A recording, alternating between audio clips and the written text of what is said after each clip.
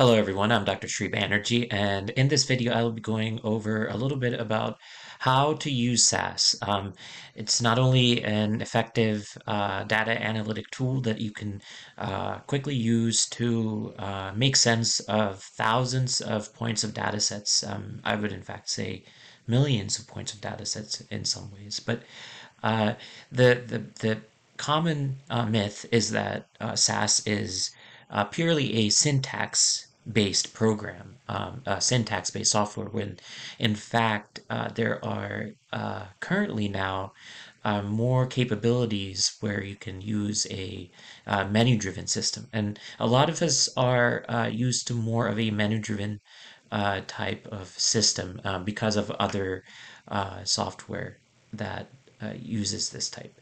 So um, without much delay, I'll be uh, doing a demonstration um, here. What I'll be doing is uh, exploring a uh, commonly used uh, data set, uh, which is the National Health and Nutrition Examination Survey. Um, and the question that I will be looking at uh, in, in this clip is taking a look at if there's uh, differences uh, in inflammatory biomarkers in those individuals that had uh, mortality as a result of stroke uh, versus individuals that did not experience a stroke um, as a uh, as a cause of mortality. So um, the association that I'm uh, looking um, at is is there a uh, significant difference, or or is there um, a a difference between um, C-reactive protein levels in individuals that uh, uh, suffered stroke-related mortality versus those who didn't? So the first thing that I'll do is going is is go into uh, tasks, and um, this is actually a uh, menu-driven or task-driven um, sort of, sort of procedure. So let's let's select this. And then we'll go into the type of uh, analysis that, that, that, we're trying to conduct here. So you, you see there's um, actually multiple options here. So you can go first, um, look and see what options you have available.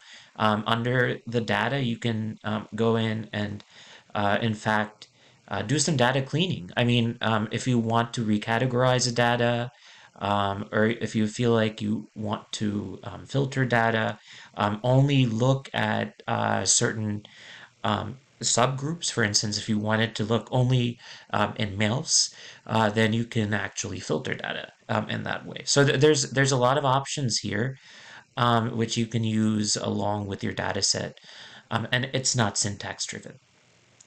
But what is neat, and I'm going to show you this trick um, in, in uh, momentarily, is that um, any sort of menu-driven or any sort of um, task-driven um, and selection that you do, you're going to have a corresponding syntax. So uh, what I want you to do is also pay attention to that syntax, but I'm going to go over that um, in a little bit.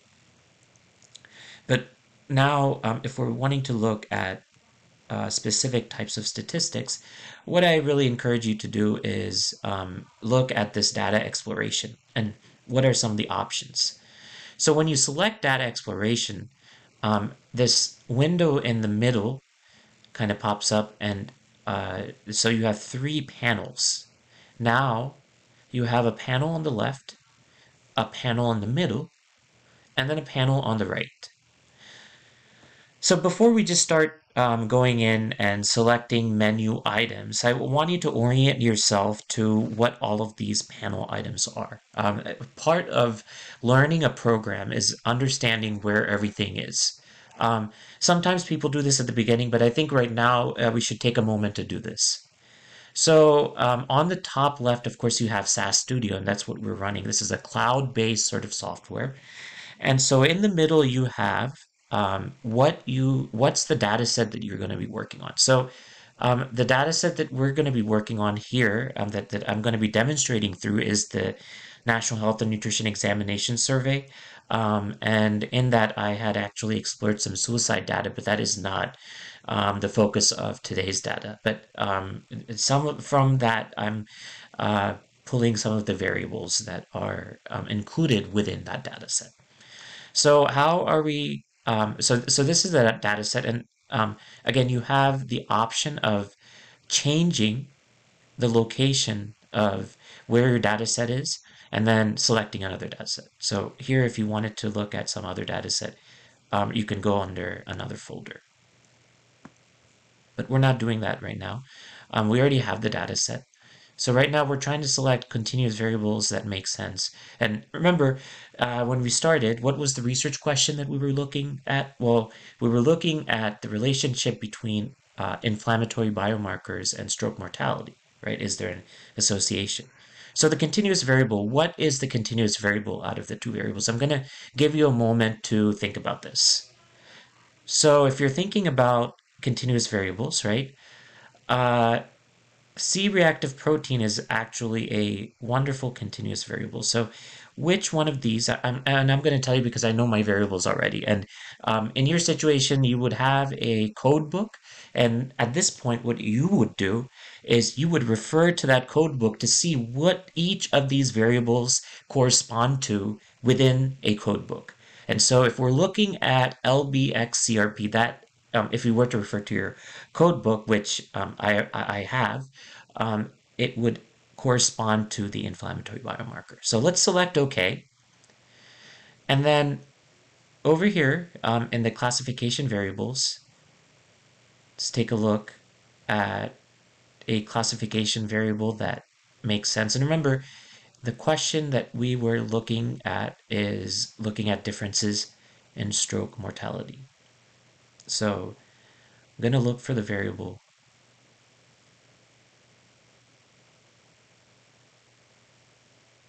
And so this is the variable that is um, a classification variable.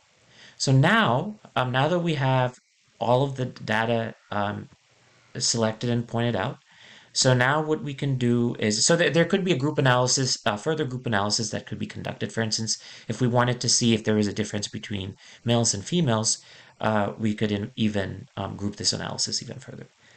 Um, so uh, for this demonstration, uh, I won't be doing that. But in plots, um, what we can do is select what types of plots we want. So um, in this situation, um, what I'll do is add a histogram um, and then also box plot. So uh, box plot is one of those important ones that you want to pay attention to. Um, and as I'm doing so, I want you to take a look what's going on on the right um, is that all of these are getting populated. So um, take a look at these this this macro that gets activated here um, on line 20. Um, and it's it's good to refer your uh, refer to your code as which line the code is in. Um, getting accustomed to code and syntax, uh, it does take a little bit of time. But um, I want you to understand the differences between different parts of code. So first thing I want you to pay attention to, um, of course, that the macro activation is important, but also the green versus the blue.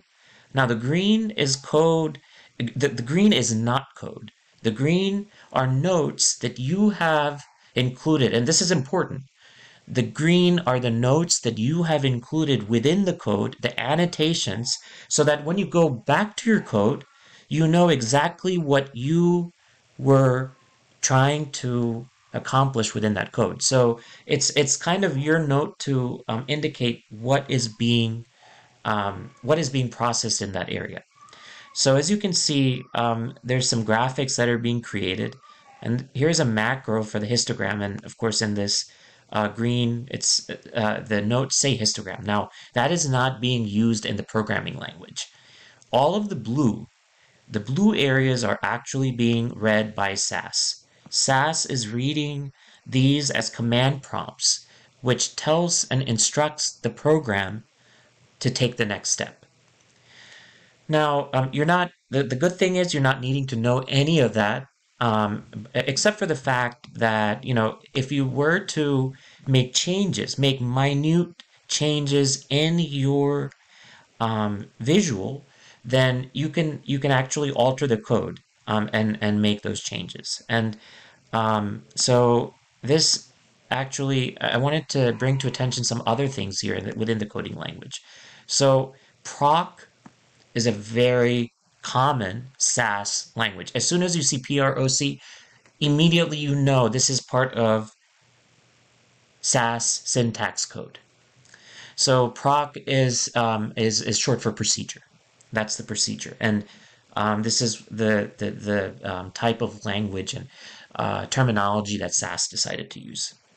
Now, um, SQL, SQL, um, structured query language, that is not unique to SAS. That is actually uh, a, a, another type of programming language, and and so um, so this is co combining. Technically, this is combining SAS and SQL. And so uh, structured uh, query language is something that you'll be seeing, uh, you know, uh, actually used in other programs and software um, as well. So now you can see um, if you're looking at univariate anal analysis, right? So you, what is univariate and, and where I'm reading from in the programming language is, is right here, univariate. So what is univariate analysis? Univariate analysis is simply going and exploring each variable individually. Very important, pay attention to this. So before you can conduct bivariate analysis, before you can conduct um, analysis between two variables, you want to find out what is going on individually with each variable. So technically, um, before conducting this bivariate analysis that I'm going over right now, um, we should have gone over a continuous sort of histogram um, sort of uh, distribution of C-reactive protein and characterize that first. But um, for, for the sake of brevity, um, I did not go into that. Okay, so um, these are some of the key points um, that we'll be going over. Now that I've gone over um, not only the programming language, but also some of these um, procedures for the histogram um, and, and, and how to conduct this, let's now hit run. Let's select run, and you can select F3. And now the whole software is running.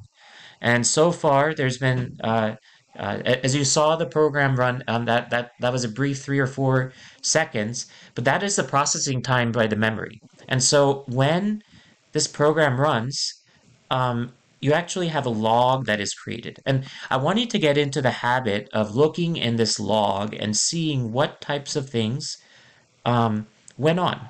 And so this not only goes into the details of the log, but um, what types of operations took place. And sometimes, you know, something interesting might pop up that you might need to uh, pay attention to. Maybe there's an error somewhere. But um, for the most part, this was um, conducted and, and, and ran well. Um, sometimes when you're uh, conducting model uh, analyses that are um, using a lot more memory, uh, you might want to compare the um, amount of memory being used and, and, and use the most efficient type of system. But, but for, for this purpose, that, that is not needed. Um, now, th this is the output, and look at this. Uh, the visuals, uh, they they are quite striking. They they have um, a lot of information in there, and uh, even though um, we have taken about 15 minutes to talk about this, the reality is once you get into the habit of doing this, um, this should take you um, less than five minutes. So here's the distribution of the C-reactive protein. So the top distribution is in individuals who have not experienced stroke-related mortality, and the bottom is of individuals that have related that that have experienced stroke-related mortality. So here's the C-reactive protein um, in, in the two populations. Now, taking a look at the distribution, and now uh, the box and whisker uh, plot um, and, and how, how this is, um, there's the mean and then uh, in, in, in the center, and some of these statistics actually um, pop up as soon as you um, hover over the area. And so you can see, um, I'm not sure if it is showing um, within the screen, but you can see the median, and you can see quickly if there is any sort of difference. And so uh, the mean is 0.625 for individuals um, in C-reactive protein um, in individuals that didn't experience uh, stroke-related mortality. And then comparatively, the mean is 0.68 for individuals that uh, experience stroke-related mortality. So slightly higher. Um, now, is that mean statistically significant? Um, that is not uh, something that you can um, actually determine from this, but there are other ways that you can uh, determine that. Um, the other robust uh, sort of statistical tests uh, that you can use. Um, so, um, for, instance, uh, continuous versus categorical with two categories, uh, t-test can be a really powerful tool um, with the assumption that there's normal distribution.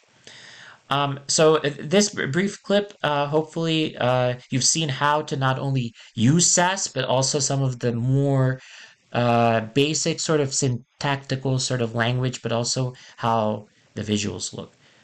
Um, I, I, I hope this video has been helpful. Thank you.